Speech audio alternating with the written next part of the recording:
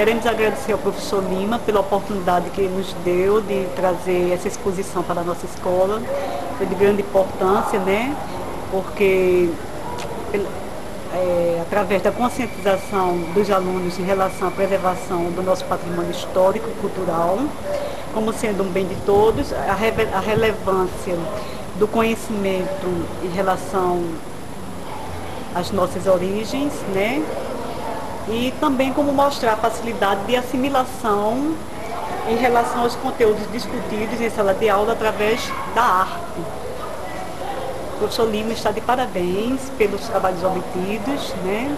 E também acredito que pela descoberta de talentos da nossa escola, né? Pelo estímulo que foi dado e pela a sua prática que foi muito coerente dentro do contexto, que estimulou muito a participação dos nossos alunos. Espero que retorne outras vezes para dar outras oportunidades a outros que precisam. Muito obrigada. Excelente!